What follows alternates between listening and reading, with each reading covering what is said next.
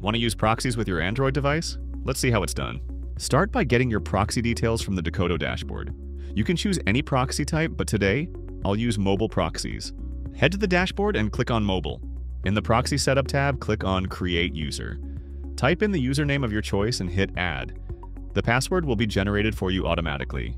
You can also authenticate using IP whitelisting. To do that, go to the Authentication tab, click on Whitelisted IPs, and then Add IP. Enter your IP address and hit Add. Next, return to the Proxy Setup tab. Choose your preferred proxy user, location, and any other parameters. You'll see the generated endpoints. Copy one and save it for later. Now, there are two ways you can add proxies, either to your Wi-Fi connection or mobile data. Let's start with Wi-Fi connection. First, make sure you're connected to a Wi-Fi network. Open Settings and go to the Wi-Fi and Network or Connection section. Go to the Wi-Fi section and tap on your connected Wi-Fi network.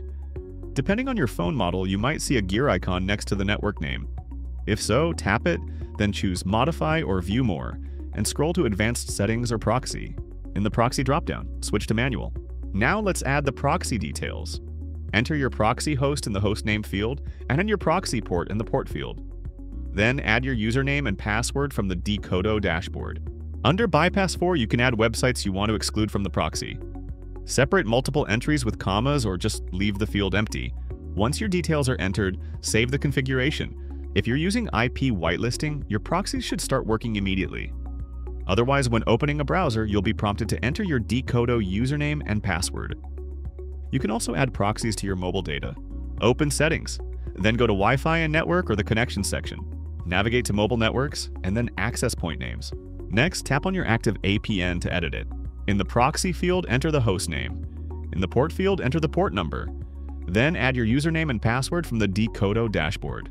Tap the three-dot menu in the top right corner and hit Save. To apply your changes, restart your network by turning mobile data off and on again.